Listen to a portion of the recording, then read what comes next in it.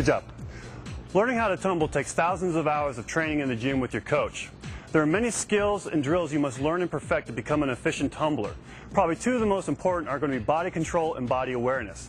All tumbling really is is manipulating your body from one shape into the next. The better you're able to do this, the more powerful and cleaner your tumbling is going to be.